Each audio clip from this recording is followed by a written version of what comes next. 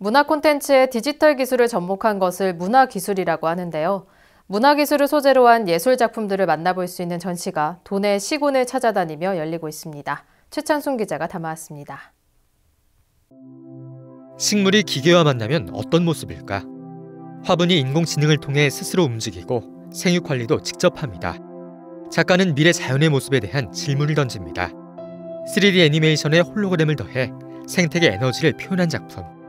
기후 위기 속 친환경을 넘어 필환경 시대의 생명의 아름다움을 이야기합니다. 요즘에 이제 자원순환에 대한 얘기가 되게 많이 나오잖아요.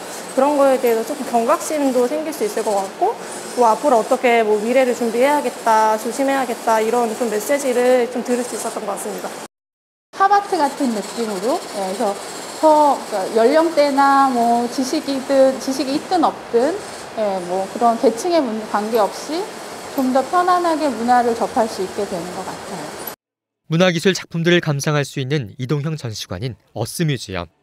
화성 기지를 본떠 만든 세계 전시관에서 다섯 개의 문화기술 예술 작품들을 만나볼 수 있습니다. 이번 전시 주제는 기후 위기를 경고하기 위해 미래에서 온 메시지. 홀로그램과 미디어 아트, 로봇, 키네틱 아트 등의 작품들로 구성됐습니다. 코로나로 지친 일상에서 그 예술과 기술의 융복합을 통한 미래의 어떤 발전된 모습을 엿볼 수 있는 그런 전시가 되었으면 좋겠습니다. 10월까지 파주 헤이리 마을에서 전시되고 11월엔 부천과 연천, 수원 지역을 찾아갈 예정입니다. 경기슈 TV 최창순입니다.